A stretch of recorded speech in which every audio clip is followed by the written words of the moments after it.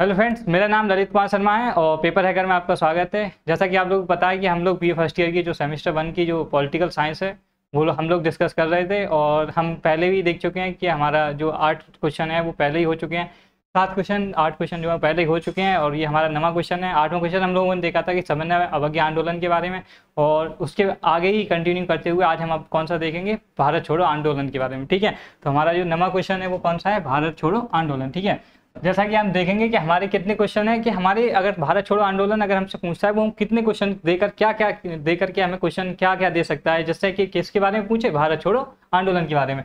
तो हमें क्वेश्चन में कुछ इस रूप से मिल चुका है और मिल चुके हैं, ये सारे क्या है? पहले के आयु हैं। तो हम देखेंगे किस नाम से आ सकता है कि भारतीय स्वतंत्रता आंदोलन में भारत छोड़ो आंदोलन के महत्व को समझाइए। अगर हमारे क्वेश्चन क्वेश्चन पेपर में, अगर हमारे पेपर में क्या चीज़ आ जाए कि भारतीय स्वतंत्रता आंदोलन में भारत छोड़ो आंदोलन के महत्व को दर्शाइए। अगर ऐसा क्वेश्चन आता है तब भी ठीक है। भारत छोड़ो आंदोलन के उत्तरदायी कारण बतलाइए अगर भारत छोड़ो आंदोलन के उत्तरदायी कारण पूछता है तभी भी हमारा यही क्वेश्चन रहेगा। भारत छोड़ो आंदोलन प्रारंभ करने के क्या कारण थे? आंदोलन की प्रगति का वर्णन कीजिए। भारत छोड़ो आंदोलन के कारण क्या थे और उनकी प्रगति कैसे हुई? मतलब कैसे आगे संचालन हुआ? ठीक है।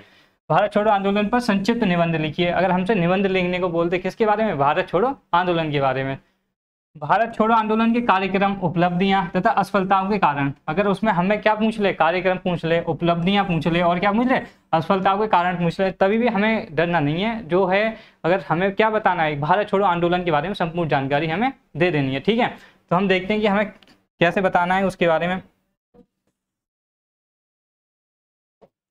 तो हम शुरू करते हैं, देखते हैं कि भारत के वायसराय ने भारतीय नेताओं से परामर्श लिए बिना ही द्वितीय विश्व युद्ध में भारत की ओर से जर्मनी के विरुद्ध युद्ध की घोषणा कर दी। क्या था ना कि जो भारत के लोग थे, उनसे बिना परामर्श किए ही, भारत के बिना परामर्श किए ही किसने, जो हमारा, कौन थे? वायसराय थे। भारत के उन्होंने क्या किया? जर्मनी के खिलाफ क्या युद्ध की भारत की तरफ़ से घोषणा कर दी। इसी कारण क्या हुआ? कांग्रेसी चाहते थे कि ब्रिटिश सरकार युद्ध के उद्देश्य स्पष्ट करें। जो हमारे महात्मा गांधी थे और जो कांग्रेस थी, वो क्या चाहती थी कि जो ब्रिटिश सरकार है, वो युद्ध के कारण स्पष्ट करे कि इसके बाद हमको स्वतंत्रता दी जाएगी या नहीं दी जाएगी। लेकिन इसमें ऐसा कुछ भी नहीं बताया गया था और सीधे ही युद्ध की घोषणा कर दी थी, ठीक है? और आश्वासन दे कि युद्ध के बाद भारत को स्वतंत्रता दे दी जाएगी। और क्या था? भारत को युद्ध के बाद स्वतंत्रता दी जाएगी, ये बात की घोषणा करे सरकार तो हम भारत की ओर से, भारत के लोग उनका साथ देंगे। ब्रिटिश शासन द्वारा ऐसा कोई भी आश्वासन न दिए जाने पर आठ प्रांतों के कांग्रेसी मंत्रिमंडल ने तुरंत अपने त्यागपत्र दे दिए। ऐसी घोषणा जब नहीं हुई कि हम जो आपकी जीत के बाद आपको स्वतंत्रता दे देंगे तो इससे क्या हुआ कि जो भारत के आठ कांग्रेस के प्रांतीय अध्यक्ष थे, उन्होंने अपने क्या किया? उन्होंने अपने पद से इस्तीफा दे दिया। वो सारे किसके थे? कांग्रेस के थे, ठीक है? युद्ध के प्रारंभिक चरण में ब्रिटेन और मित्र राष्ट्रों की स्थिति बिगड़ती जा रही थी। जो मित्र राष्ट्र थे और कौन था? ब्रिटेन, जो हम पर कब्जा किया हुआ था। हमारे जो हमें जो गुलाम बनाया था, वो किसने बनाया था? ब्रिटेन ने। उस पर उसकी स्थिति और किसकी? मित्र राष्ट्र, उनकी स्थिति क्या हुई?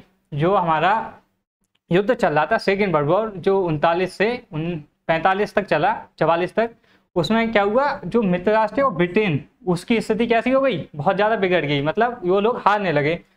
इस कारण क्या हुआ? भारत में ब्रिटिश साम्राज्य को शिक्षा के लिए भारतीय राजनीतिक दलों राजनीतिक दलों का समर्थन आवश्यक था।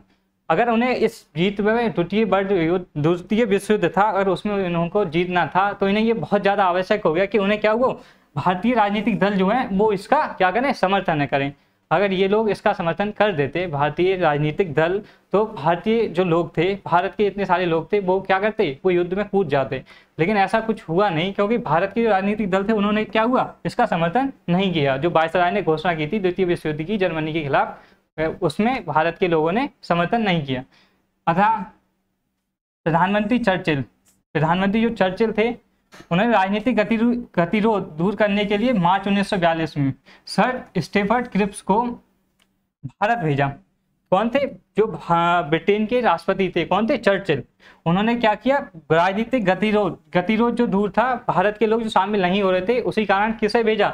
एक क्रिप्स मिशन भेजा। क्रिप्स मिशन की अध्यक्षता कौन कर रहे थे? Sir Stafford Ford. कब भेजा था? 1942 में, ठीक है? मार्च में। जिनके द्वारा भारतीय नेताओं के साथ वार्ता के दौरान अपनी योजना पेश की गई। जो क्रिप्स आए थे, कौन थे? सर स्टीफर्ड क्रिप्स आए थे। उनके द्वारा राजनीतिक गतिरोध जो थे, उन्हें दूर करने के लिए प्रधानमंत्री चर्चिल जो थे, उन्होंने भारत को, भारत भेजा किसे? सर स्टीफर्ड क्रिप्स को कि भारत के राजनीतिक दल हैं, उनसे जाकर बात करो और उन्हें हमारे साथ आने के लिए अपनी योजना को पेश कर दिया, ठीक है? जिसके दो भाग थे। किसके? दो भाग किसके थे? स्टीफर्ड क्रिप्स जो लेके आए थे क्रिप्स मिशन, उसके कितने भाग थे? दो भाग थे। एक था अंतरिम योजना और एक थी दीर्घकालिक योजना। हम देखते हैं जो हमारी अंतरिम योजना थी और कौन सी थी? दीर्घकालीन। ये किसके दो क्रिप्स मिशन जो आया था हमारा, उसकी दो क्या थी? दो भाग थे। एक अंतरिम मतलब हाल ही की, और एक लंबी, जो दूरी तक चलने वाली योजना थी, ठीक है? कांग्रेस क्रिप्स योजना को स्वीकार करने को तैयार नहीं थी, जो कि हमने बताया था स्टीफर्ड क्रिप्स। जिसके कौन थे? इसके अध्यक्ष जो थे क्रिप्स मिशन के स्टीफर्ड क्रिप्स थे। उसकी जो योजना थी, उसको कौन? भारतीय जो नेता थे, कांग्रेस के जो नेता थे, उसको स्वीकार करने के लिए तैयार नहीं थे। इस कारण गांधी जी ने क्रिप्स योजना को दिवालिया बैंक के नाम भविष्य की तिथि में भुनने वाले चेक की संज्ञा दी। गांधी जी ने ऐसा क्या बताया? गांधी जी ने ऐसे बताया post dated cheque Gandhi ji ने इसको बताया कि ये क्या है? एक दिवालिया बैंक के नाम का एक भविष्य का क्या है? भविष्य का एक बनाने वाला चेक है। मतलब ये पोस्ट डेटेड चेक है, इसमें कोई भी धनराशि आपको नहीं मिलने वाली, ठीक है? एक ऐसा चेक है जिसमें आपको कोई धनराशि प्राप्त नहीं होगी। उसी प्रकार का इनका क्रिप्स भी उसी प्रकार से है, ठीक है? तो हम अब इसके बाद देख लेते हैं आंदोलन के जो प्रमुख कारण थे, वो क्या क्या थे? हम आंदोलन के प्रमुख कारणों को देखेंगे। क्रिप्स मिशन की असफलता और भारत में निराशा का वातावरण। जो ब्रिटेन के प्रधानमंत्री थे चर्चिल, जिन्होंने क्या भेजा था? क्रिप्स मिशन भेजा था, उसकी असफलता रही। जिस कारण क्या था? भारत आंदोलन जो भारत छोड़ो आंदोलन था, वो स्टार्ट हो गया था। इसी के बाद स्टार्ट हुआ था, ठीक है? क्रिप्स मिशन के बाद।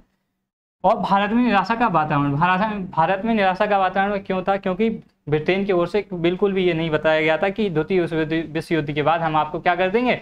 स्वतंत्र कर देंगे। ऐसा कुछ नहीं बताए जाने के कारण भारत में क्या थी? निराशा थी। इसी कारण क्रिप्स मिशन की असफलता के कारण भारत में घोर निराशा का वातावरण छा गया।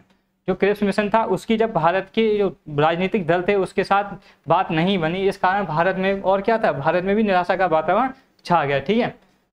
भारतीय जनता ने ये अनुभव किया कि क्रिप्स मिशन की संपूर्ण क्रियाकलाप एक राजनीतिक चाल मात्र थे।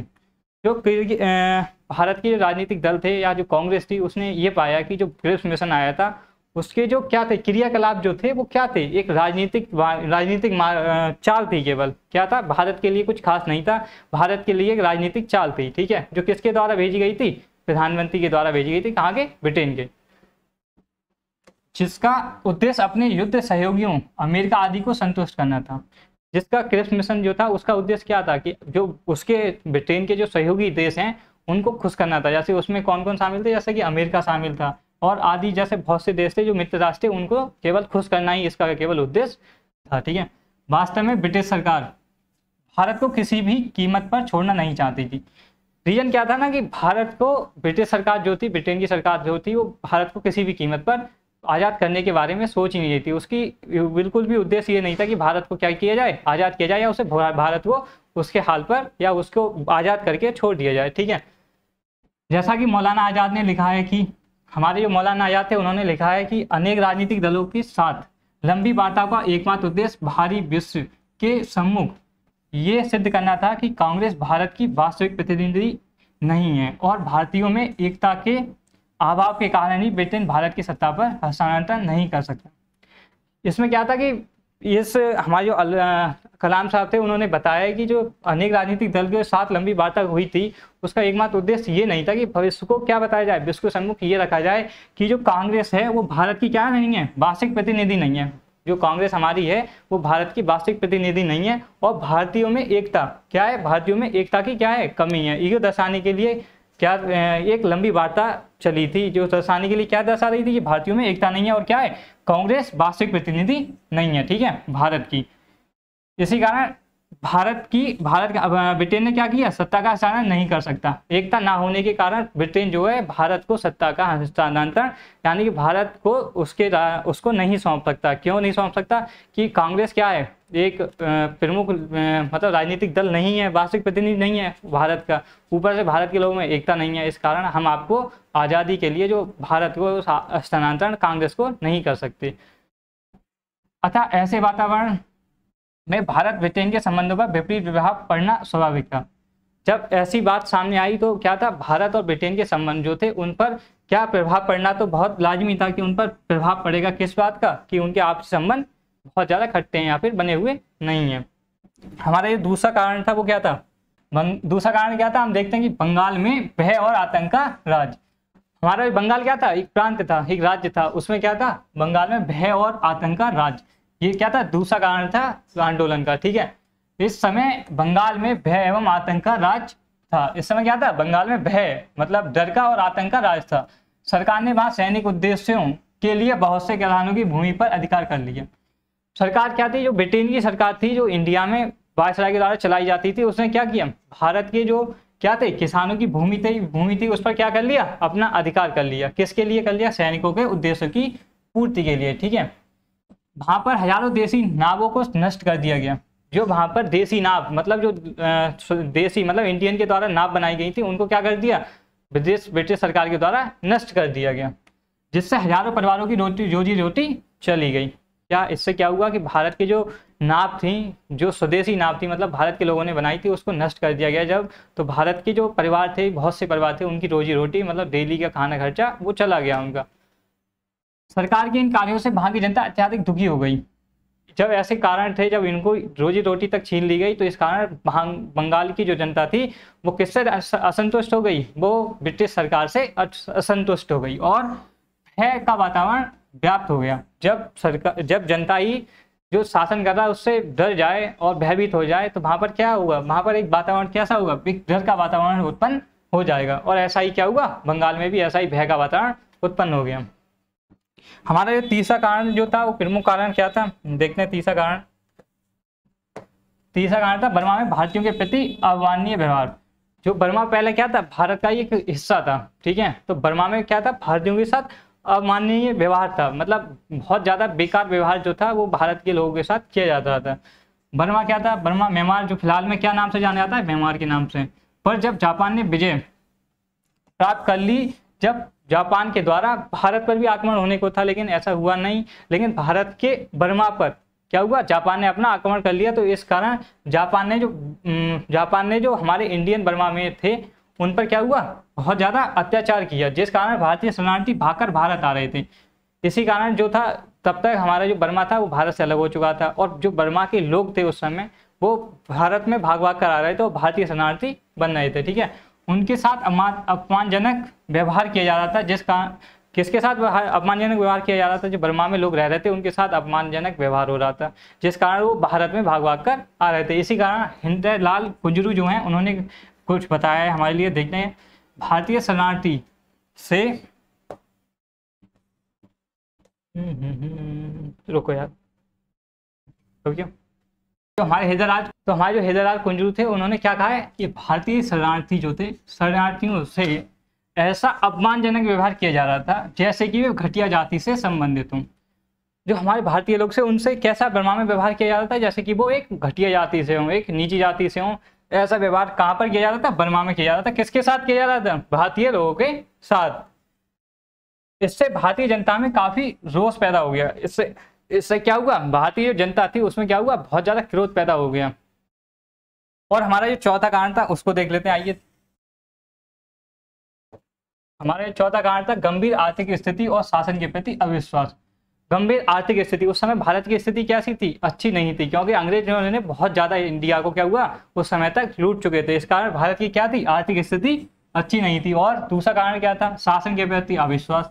उस समय क्या थी? ब्रिटिश सरकार थी, उसके उसके जो प्रति हमारा व्यवहार कैसा था, एक बहुत ज़्यादा कैसा था, अविश्वास भरा हुआ था, क्योंकि उससे हमारे विश्वास बिल्कुल खो चुके थे हम किसमें ब्रिटिश सरकार में। इस समय वस्तुओं के दाम बहुत बढ़ते जा रहे थे। क्या हुआ? जो ब्रिटिश सरकार की जो जो कंट्रोल में जो चीज़ें आती थी, उनके दाम क्या थे? बहुत ज़्यादा बढ़ते जा रहे थे। लोगों का कागज़ की नोटों से विश्वास उठ गया था। जो उस समय भारत में कागज़ के नोट चलते थे, उससे क्या था? भारत के लोगों का विश्वास उस समय तक उठ चुका था। विशेष रूप से मध्यम वर्ग के लोग ज़्यादा परेशान थे और सरकार के प्रति अविश्वास उत्पन्न हो रहा था। उस समय क्या था, जो मध्यम मतलब जो ना तो गरीब ज़्यादा थे, ना ज़्यादा रईस थे। उन लोग जो थे, वो सबसे ज़्यादा क्या थे, परेशान थे। और उनका सरकार के प्रति जो क्या था, विश्वास था, वो खत्म हो चुका था। इसलिए उनमें क्या हुआ, अविश्वास की भावना उत्पन्न हो रही थी। किसके खिलाफ? ब्रिटिश सरकार के खिलाफ, ठीक है? तो हमारा जो पांचवा कारण है, उसको देख लेते हैं। जापानी आक्रमण का भय एवं ब्रिटिश रक्षा व्यवस्था में भारतीयों का अविश्वास। जो हमारा पांचवा कारण है, वो क्या है? उस समय पांचवा कारण जो था, जापानी आक्रमण का भय जो हमारा पांचवा कारण है, वो सबसे ज़्यादा बड़ा कारण है, क्या था? उस समय भारतीय के ऊपर क्या था? जापान ने हमला करने के बारे में बोल दिया था। तो भारत में किसका? जापान का आक्रमण। और ऊपर से क्या था? ब्रिटिश के हम, हमें जो था, ब्रिटिश वालों पर, ब्रिटिश सरकार पर बिल्कुल भी भरोसा नहीं था। किसके मामले में? रक्षा के मामले में, ठीक है? तो रक्षा व्यवस्था कैसी थी? उस समय इंडिया की इतनी अच्छी नहीं थी। ऊपर से जापान का आक्रमण भी होने वाला था इंडिया के ऊपर। किस किस समय? लगभग 1940 के लमसम, ठीक है? क्या चल रहा था उस समय? द्वितीय विश्व युद्ध। जापान में अंग्रेज़ों को सिंगापुर, मलेशिया और बर्मा में बुरी तरह पराजित कर दिया था। जापान ने अंग्रेज़ों को कहाँ कहाँ पर पराजित कर दिया था? सिंगापुर में पराजित कर दिया था, मलेशिया में कर दिया था और बर्मा। बर्मा जो थे, बर्मा बिल्कुल भारत के क्या है? बिल्कुल करीब में है, पूरब में है। तो बर्मा तक क्या पहुँच गया था? जापान पहुँच गया था। तो जापान ने अंग्रेज़ों को तीन जगह तो पहले ही हरा चुका था और चौथी बारी किसकी थी? इंडिया, जो भारत पे आक्रमण होने वाला था। इस कारण भारत के लोगों में क्या था? जो ब्रिटिश सरकार की उसके खिलाफ अविश्वास था। उसमें विश्वास नहीं था कि वो हमारी रक्षा कर सकेंगे।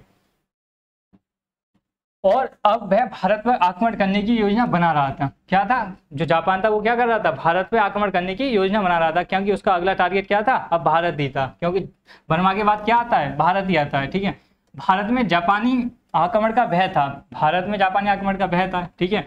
गांधी जी तथा भारतीयों को विश्वास था कि अंग्रेज़ भारत की रक्षा करने में असमर्थ हैं। साथ ही उनका मत ये था जो क्या था? मत क्या था? भारत में जो गांधी जी थे, थे और कांग्रेस और जो भारत के लोग थे उन्हें पूरा विश्वास था कि जो ब्रिटिश सरकार है वो हमारी रक्षा करने में क्या है? असमर्थ है। वो हमारी रक्षा जापान से नहीं कर पाएँगे। इसी कारण गांधी जी का मत था कि यदि अंग्रेज़ भारत से चले जाएँ तो शायद जापान भारत में आक्रमण नहीं करेगा। क्योंकि जापान की भारत से कोई खासा दुश्मनी नहीं थी। उसकी दुश्मनी थी, किससे थी? वो थी अंग्रेज़ों से। तो अगर भारत से अंग्रेज़ चले जाएँ, अगर भारत से गांधी जी का ये मत था कि भारत से अगर अंग्रेज़ चले जाएँ तो हो सकता है कि जापान किस पर? भारत पर आक्रमण ना करे, ठीक है? गांधी जी ने इस संबंध में अपने ये पत्र हरिजन में लिखा। उस समय की पत्र था, उस समय का पत्र था हरिजन। उसमें गांधी जी ने लिखा है कि भारत के लिए उसके परिणाम कुछ भी क्यों ना हो। भारत एवं ब्रिटेन की वास्तविक सुरक्षा समय रहते इंग्लैंड के भारत छोड़ देने में ही है। क्या हुआ? भारत में जो भारत की सुरक्षा है, वो क्या है? अगर इंग्लैंड अगर टाइम पर छोड़ देती है भारत को, ब्रिटेन अगर भारत को सही टाइम पर छोड़कर चला जाता है तो भारत को भारत की जो रक्षा है, वो क्या है? अपने हाथ में ही है। वह अपने आप से कर सकते हैं कुछ। कुछ परिणाम, क्यों? परिणाम कुछ भी हों, लेकिन भारत की जो अभी हालात आज की हालत है, उसमें यह है कि अगर भारत को जापान, भारत को ब्रिटिश छोड़कर चले जाएँ तो हो सकता है कि हमारी जापान से जो है युद्ध टल जाए, ठीक है? इनका सीधा सीधा यही कहना था। जिन्होंने किसमें प्रकाशित किया? हरिजन जो पत्रिका थी, उसमें गांधी जी ने ये प्रकाशित किया।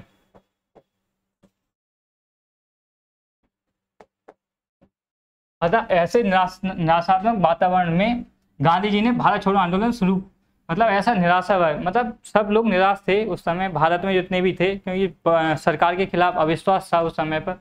जापान का आक्रमण होने वाला था तो इस समय सब लोग क्या थे? निराश थे। उसी समय पर भारत छोड़ो आंदोलन शुरू करने का निश्चय किया। किसने किया निश्चय? गांधी जी ने। उसी समय पर गांधी जी ने भी क्या किया? भारत छोड़ो आंदोलन शुरू करने का निश्चय किया। इसमें ब्रिटिश सरकार की दोहरी जो थी, हार हुई। एक तो उनका जो क्रिप्स मिशन था, वो भी फेल हो गया। ऊपर से इंडिया ने क्या हुआ? गांधी जी द्वारा भारत छोड़ो आंदोलन भी शुरू कर दिया गया, ठीक है? गांधी जी ने कहा कि कांग्रेस अब किसी भी ऐसी स्थिति को स्वीकार नहीं कर सकती जैसे भारतीय को विदेशी शक्ति के सामने दास के रूप में काम करना पड़े। गांधी जी ने बोला था कि अब भारत में कोई भी ऐसी शक्ति किसी भी ऐसी स्थिति को स्वीकार नहीं किया जाएगा जिससे कि क्या हो? भारत के लोगों को विदेशी शक्ति, भारत की जो विदेशी शक्ति है, उसका क्या होना चाहिए? होना पड़े, दास, गुलाम होना पड़े। तो ऐसा कोई काम अब इंडिया वाले लोग नहीं करेंगे। और उन्होंने क्या किया? भारत छोड़ो आंदोलन शुरू कर दिया, ठीक है? चौदह जुलाई 1942 का बर्दा प्रस्ताव। बर्दा क्या है? एक जगह का नाम है, ठीक है? तो चौदह जुलाई 1942 को बर्दा प्रस्ताव रखा गया। चौदह जुलाई 1942 को बर्दा में कांग्रेस की बैठक हुई। कहाँ पर हुई? बर्दा में। जैसा कि आपको बर्दा प्रस्ताव बर्दा में होने के कारण इसका नाम क्या रख दिया? बर्दा प्रस्ताव। इसमें गांधी जी ने भारत छोड़ो संबंधी विचारों का समर्थन किया। क्या हुआ? जो बर्दा एक जगह है वहाँ पर गांधी जी ने एक प्रस्ताव रखा और उसमें भारत छोड़ो का जो समर्थन क्या किसने किया? गांधी के द्वारा किया गया। बर्दा में पारित प्रस्ताव में कहा गया, क्या कहा गया? कि भारत की स्वतंत्रता ना केवल भारत के हित में आवश्यक है, भारत की स्वतंत्रता ना कि भारत के हित में आवश्यक है। केवल भारत को ही उससे फ़ायदा होगा, बल्कि संसार की सुरक्षा के लिए तथा नाजीवाद भारत किसकी सुरक्षा के लिए? संसार की सुरक्षा के लिए भी ज़रूरी है। भारत की स्वतंत्रता तथा नाजीवाद फॉस्टिसवाद सैन्यवाद तथा दूसरे प्रकार के साम्राज्यवादी और एक राष्ट्र पर दूसरे राष्ट्र के आक्रमण। एक राष्ट्र पर दूसरे राष्ट्र के आक्रमण का अंत करने के लिए भी आवश्यक है। तो क्या था? वर्धा प्रस्ताव में क्या कहा था कि भारत की स्वतंत्रता न केवल भारत के लिए उपयोगी है, बल्कि यह क्या है? पूरे संसार की सुरक्षा के लिए आवश्यक है। ठीक है? प्रस्ताव में ये भी कहा गया, प्रस्ताव में वर्धा प्रस्ताव जो रखा गया, उसमें क्या कहा गया? कभी ये स्टार्ट हुआ? ये भी हमें ध्यान रखना है कि चौदह जुलाई उन्नीस सौ बयालीस को। उसमें क्या कहा गया कि कांग्रेस की नई जो नीति है, नई नीति का उद्देश्य क्या है? नई नीति का उद्देश्य है कि ब्रिटेन अथवा मित्र राष्ट्रों के, ब्रिटेन है और जो मित्र राष्ट्र हैं, कि युद्ध संबंधी कार्यों में बाधा पहुंचाना नहीं है। जो भारत की वर्धा प्रस्ताव था, उसका उद्देश्य क्या था? उसका उद्देश्य ये नहीं है कि हम जो ब्रिटेन के मित्र संबंधी मित्र राष्ट्र रहेंगे और जो ब्रिटेन है, उसके खिलाफ या उसके संबंधों या उसके कार्यों में क्या है, बाधा पहुँचाने का कोई भी हमारा उद्देश्य नहीं है। इसका ये भी मतलब नहीं है कि समस्त अंग्रेज़ भारत से चले जाएँ। उनका कहना था कि इनका ये भी मतलब नहीं है कि समस्त अंग्रेज़ भारत से, भारत को छोड़कर चले जाएँ। वरन इसका अर्थ केवल इतना है कि भारत में ब्रिटिश शासन का अंत शीकालीन हो। तो गांधी जी का क्या कहना था कि बर्दा जो प्रस्ताव था, उसमें कहना था कि उनका मतलब ये नहीं है कि भारत, उनके जो ब्रिटेन है और जो मित्र राष्ट्र है, उनके कार्यों में बाधा पहुंचाएँ। ये भी उनका कारण नहीं है। और ना ही उनका ये कारण है कि ब्रिटिश जितने सारे लोग हैं, वो भारत को छोड़कर चले जाएँ। उनका बस यही कहना था कि वो क्या है, कि वो क्या कर दें भारत को? भारत के जो शासन है, उसको शीघ्र, किसका? ब्रिटिश शासन है, उसको शीघ्र से शीघ्र अंत कर दें और भारत के लोगों में उनका शासन दे दें। यदि सरकार ने सत्ता नहीं छोड़ी, किस, कौन सी सरकार ने? ब्रिटिश सरकार ने अगर सत्ता नहीं छोड़ी तो कांग्रेस अपनी समस्त अहिंसात्मक शक्ति का प्रयोग करने के लिए बाध्य होगी।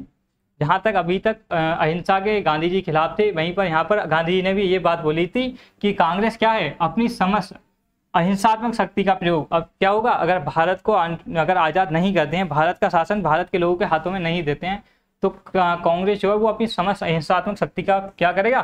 प्रयोग करने के लिए तैयार है।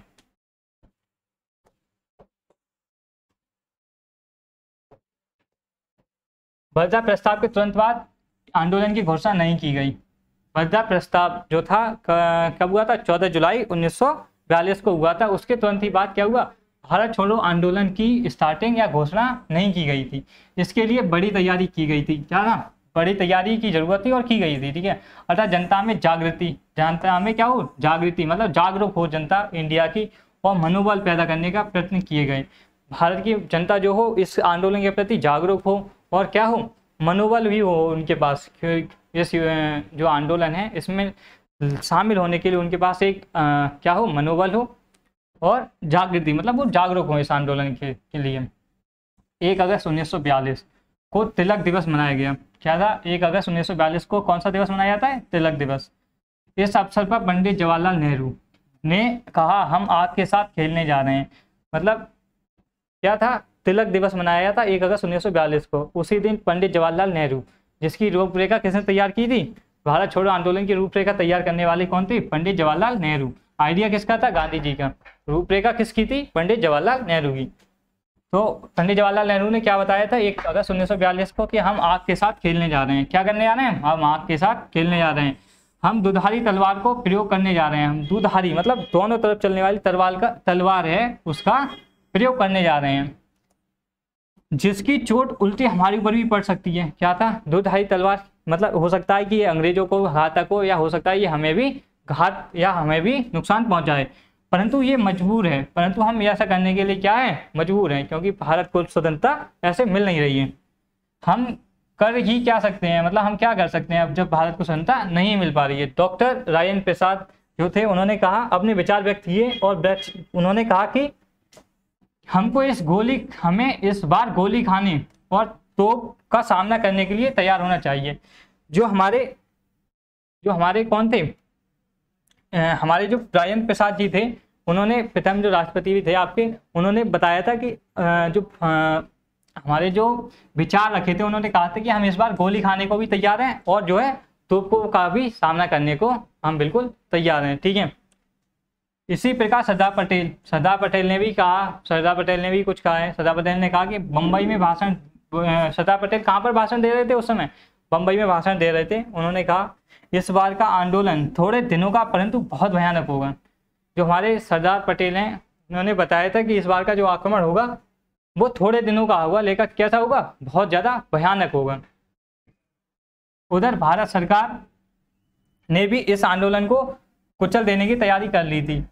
उधर जो भारत सरकार थी या ब्रिटिश की सरकार थी, उसने भी इस आंदोलन को कुचलने की पूरी तैयारी कर चुकी थी। जो ब्रिटिश सरकार थी, उन लोगों ने वैसे कुचलने मतलब इसे समाप्त करने की पूरी तैयारी कर ली थी। अब हम देखते हैं, आठ अगस्त उन्नीस बयालीस को कांग्रेस के बम्बई अधिवेशन में भारत छोड़ो प्रस्ताव। हमारा प्रस्ताव जो था, भारत छोड़ो आंदोलन का कहाँ पर रखा गया? कांग्रेस के बम्बई अधिवेशन में। तो आपको ये बात ध्यान रखनी है, कहाँ पर? बम्बई अधिवेशन में। और कब? आठ अगस्त उन्नीस सौ बयालीस को, ठीक है? आठ अगस्त उन्नीस को मुंबई में अखिल भारतीय कांग्रेस कमेटी का अधिवेशन प्रारंभ हुआ। किसका? अखिल भारतीय कांग्रेस कमेटी का अधिवेशन प्रारंभ हुआ कहाँ पर? मुंबई में। इस अधिवेशन में सर्वसम्मति से एक प्रस्ताव पास किया गया। जो बंबई में अधिवेशन हुआ था, उसमें एक प्रस्ताव को पास किया गया सर्वसम्मति से। इसमें कहा गया कि भारत में ब्रिटिश शासन का तुरंत अंत हो जाना चाहिए। इस जो कहाँ पर था? मुंबई का अधिवेशन था, उसमें ये कहा गया था कि भारत में जो ब्रिटिश शासन है उसका अब क्या हो जाना चाहिए? तुरंत ही अंत हो जाना चाहिए, जिसका प्रभाव अति हितकर होगा, जिससे कि भारत के भारत के लिए इसका प्रभाव कैसा होगा? बहुत ही ज़्यादा हितकर होगा, ठीक है? हितकर मतलब भारत के पक्ष में होगा। भारतीय स्वयं अपने देश की रक्षा कर लेंगे। क्या था कि भारत उस समय जापान की जो हमले का जो खतरा मंडा रहा था, उससे क्या है? भारत के लोग खुद ही अपनी रक्षा कर लेंगे। यदि ब्रिटिश सरकार ऐसा करने में अनाकानी करेगी, अगर ब्रिटिश सरकार जो है, ब्रिटेन की सरकार है, वो अगर अनाकानी करेगी ऐसा करने में तो ये कांग्रेस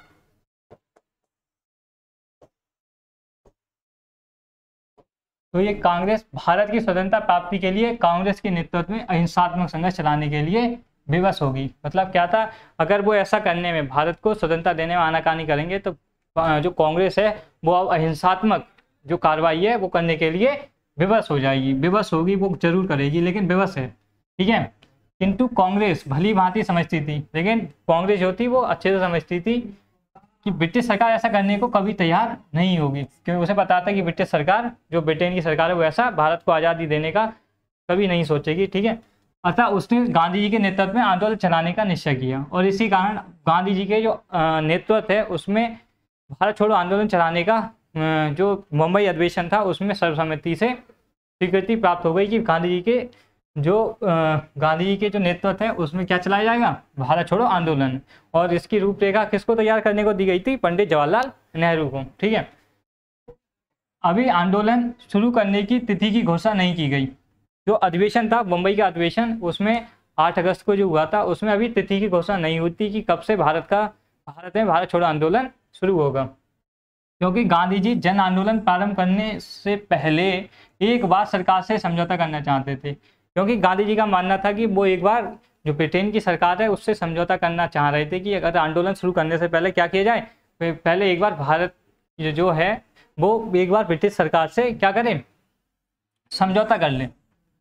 गांधी जी ने इस कांग्रेस कार्य समिति के सामने अपने भाषण में कहा मतलब जो मुंबई में आठ अगस्त को अधिवेशन चल रहा था, उसमें कार्य समिति थी, उसमें गांधी जी ने भाषण में अपने में कहा था, मैं स्वतंत्रता के आने की अब अधिक दिनों तक प्रतीक्षा नहीं कर सकता। मैं जो गांधी जी ने क्या बोला था कि मैं अब स्वतंत्रता के आने की अधिक दिनों तक प्रतीक्षा मतलब अब इंतज़ार मैं नहीं कर सकता।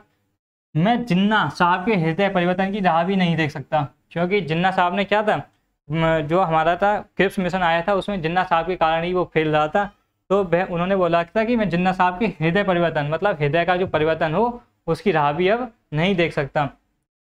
ये मेरे जीवन का अंतिम संघर्ष है। उन्होंने बताई थी, भारत छोड़ो आंदोलन जो है, वो मेरे जीवन का अंतिम और आखिरी संघर्ष है। ठीक है? मैं इसके बाद अब और प्रतीक्षा भारत के आज़ाद होने की नहीं कर सकता।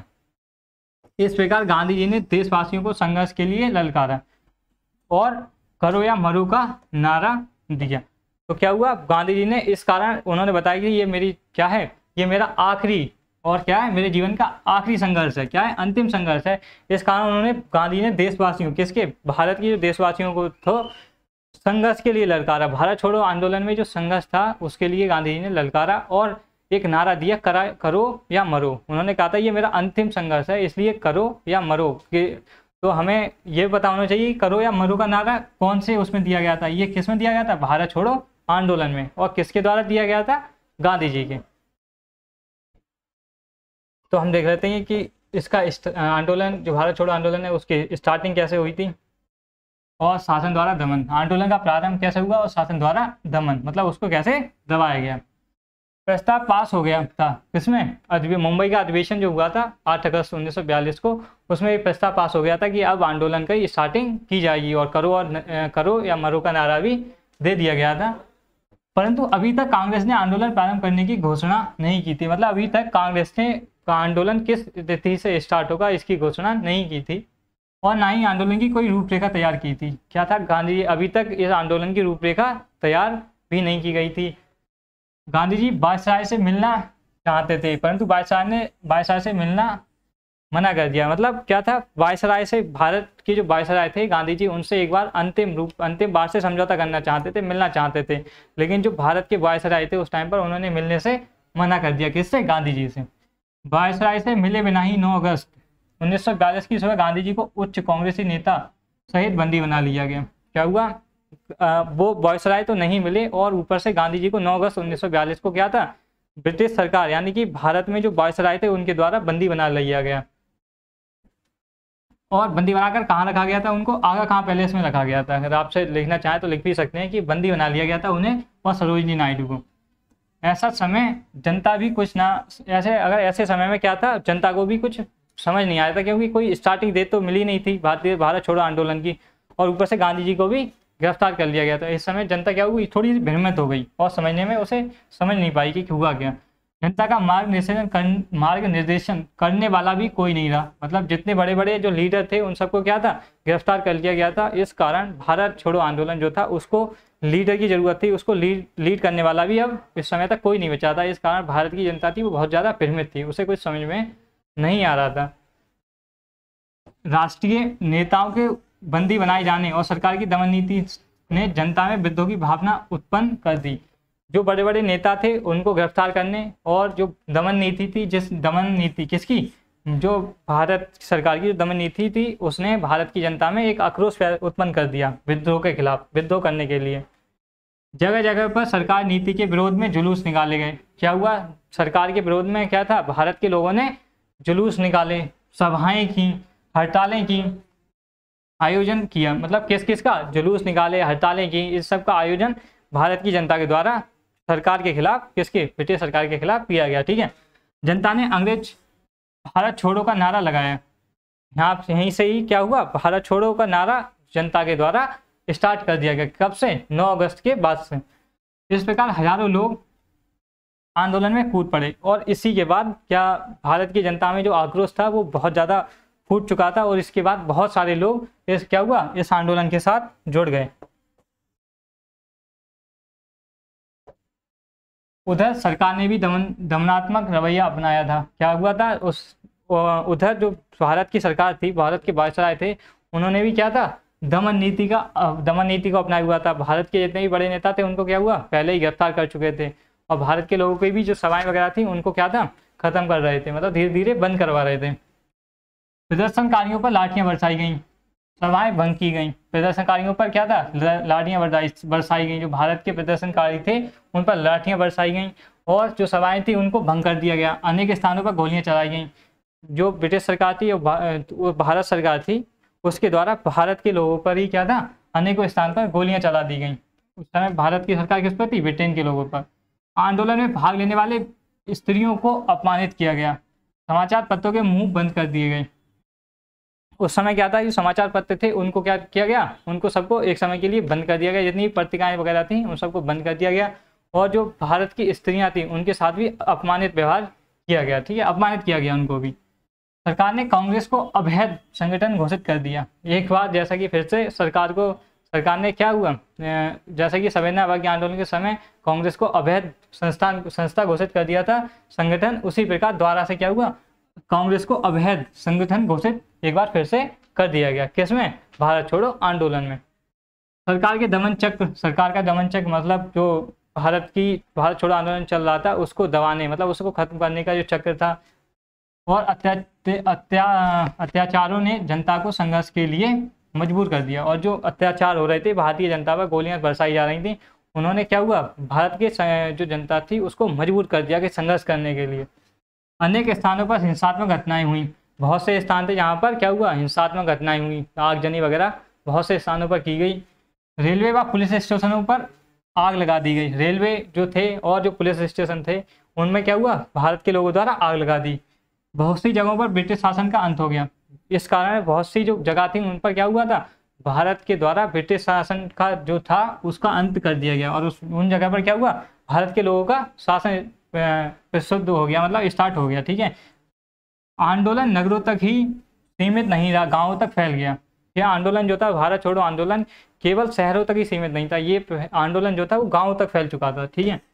परंतु सरकार के कठोर दमन ने आंदोलन को बुरी तरह कुचल दिया। और जो आंदोलन चल रहा था, उसमें जो भारत जो सरकार की दमन नीति थी, जो दमन चक्र था, उसने भारत के लोगों का, जो भारत छोड़ो आंदोलन था, उसको बुरी तरह से क्या हुआ? कुचल दिया, उसे बहुत बुरी तरह से समाप्त कर दिया। इस कारण क्या था? भारत छोड़ो, आंदोलन असफल हो गया। और क्या हुआ? भारत के नेता जो थे, वो तो जो पहले से ही जेल में बनते गांधी जी वगैरह, और जो बड़े बड़े नेता थे, उसे उन्हें पहले ही क्या था? ब्रिटिश सरकार ने कैद कर लिया था। और लोगों, जो भारतीय लोग थे, उन पर गोलियाँ बरसाई गई। महिलाओं को अपमानित कर दिया गया और सभाएँ भंग कर दी गई इस कारण भारत का जो भारत छोड़ो आंदोलन था, वो क्या हो गया? असफल हो गया। ठीक है? हम देख लेते हैं असफलता के कारण। किसके? आंदोलन की असफलता के कारण को देख लेते हैं एक बार। आंदोलन की असफलता के कारण। सरकार की कठोर दमन नीति। क्या था? सरकार की जो दमन नीति थी मतलब इसे आंदोलन को ख़त्म करने की जो नीति थी, उस नीति को, जो कठोर नीति थी, उस कारण असफलता जो थी, उसकी किसकी? भारत छोड़ो आंदोलन की। सरकार ने आंदोलन का दमन बड़ी कठोरता से किया। बहुत ज़्यादा कठोरता मतलब बहुत ज़्यादा कठोरता से क्या किया? भारत ने आंदोलन को समाप्त कर दिया, ठीक है? संपूर्ण देश में पुलिस एवं सेना का राज्य था। पूरे जो भारत था, उसमें सेना और राज सेना और किसका? पुलिस का पूरे में राज्य था। और जो, जैसे कौन कंट्रोल करता था पुलिस और सेना को उस समय पर। उस समय भारत सरकार, यानी कि ब्रिटिश सरकार के द्वारा इसे कंट्रोल किया जाता था, जिस कारण पूरे राज्य और पूरे राज्य में, पूरे देश में सेना और क्या थी? पुलिस पूरे प्रदेश में और राज्य में घूम रही थी। जिससे जनता आतंकित हो गई। मतलब जिससे जो भारत की जनता थी, वो क्या हुआ? हड़बड़ा गई और घबरा गई, जिस कारण से इसका असफलता के जो मुख्य कारण रहे, भारत की छोड़ो आंदोलन की असफलता के। दूसरा हमारा कारण देख लेते हैं कि हमारा जो दूसरा कारण है, वो नेतृत्व का अभाव। नेतृत्व मतलब उस समय नेतृत्व का अभाव क्या था? आंदोलन में जनता को उचित नेतृत्व देने वाला कोई ना था। चोटी के समस्त नेताओं को आंदोलन शुरू होने से पहले ही बंदी बना लिया गया था। जैसा कि हम लोगों ने ऊपर पढ़ा था कि जो छोटी मतलब जो बहुत ऊँचे नेता थे जो अच्छे अच्छे नेता थे उन्हें सरकार के द्वारा स्टार्टिंग में ही भारत छोड़ो आंदोलन शुरू होने से स्टार्टिंग से ही पहले ही उन्हें बंदी बना लिया गया था। गांधी जी को भी बंदी बना लिया गया था और उन्हें आगा खां पैलेस में रखा गया था, उन्हें और सरोजनी नायडू को। और लोगों को भी जेल में डाल दिया गया, जिस कारण भारत में जो क्या था, नेतृत्व का अभाव था। नेतृत्व करने वाला कोई बड़ा नेता उस समय नहीं था, ठीक है? आंदोलन का हिंसात्मक रूप। आंदोलन का हिंसात्मक रूप धारण करना। जैसा कि देखने देखने को मिलता है कि इसमें स्टेशन पर आग लगा दी, रेलवे स्टेशन जला दिए गए, पुलिस स्टेशन जला दिए गए तो इस आंदोलन में हिंसात्मक हिंसा बहुत ज़्यादा हुई थी। इस कारण भी क्या था? ये आंदोलन असफल रहा था। गांधी जी आंदोलन को अहिंसात्मक रूप देना चाहते थे, लेकिन नेतृत्व के अभाव में हिंसात्मक हो गया। क्या था? गांधी जी हमेशा से ही क्या चाहते थे कि अहिंसात्मक रूप से आंदोलन को चलाया जाए, लेकिन ये क्या हुआ? ये ये ये आंदोलन किस बदल गया? हिंसात्मक रूप में बदल गया। जिस कारण भी ये क्या था? असफल होने का इसका प्रमुख कारण है। हिंसात्मक क्रांति के लिए जनता पूरी तरह से तैयार नहीं थी। हिंसात्मक क्रांति की क्रांति जो थी, उसे करने के लिए जनता पूरी तरीके से भारत की तैयार नहीं थी। उसके पास अस्त्र शस्त्रों का अभाव था। मतलब हिंसात्मक कार्रवाई भी हुई, लेकिन इतनी जनता तैयार नहीं थी भारत की कि उसके पास अस्त्र शस्त्र का पूर्ण रूप से पूर्ण रूप से अस्त्र शस्त्र उसके पास हों। उनका क्या था? अभाव था, उसके पास कमी थी। हम चौथा कारण देख लेते हैं।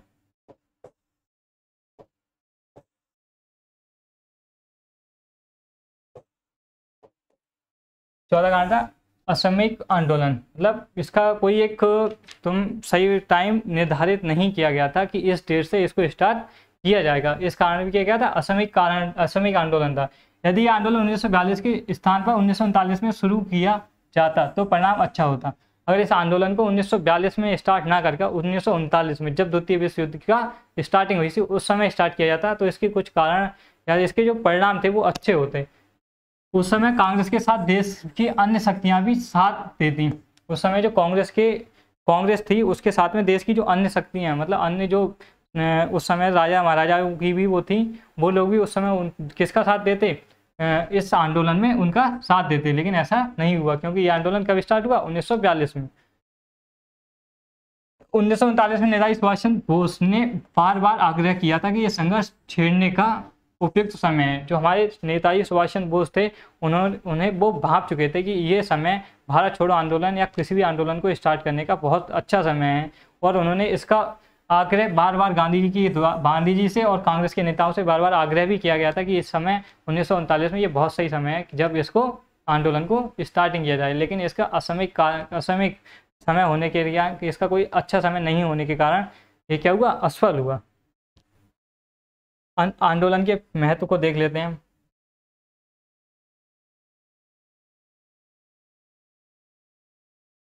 आंदोलन का महत्व। आंदोलन के क्या क्या महत्व थे कि इस आंदोलन से हमें क्या क्या फ़ायदा हुए? तो इनके महत्व के बारे में देख लेते हैं।